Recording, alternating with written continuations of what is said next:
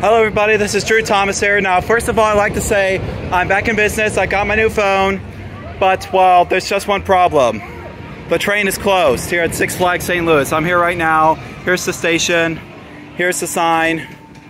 Now, the train is closed. It has been closed since, well, late September.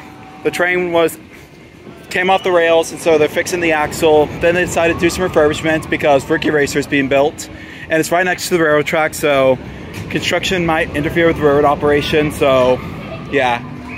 Anyway, so it's good to be back. There'll be no live streams though because of re reasons, but anyway, that's all for this video.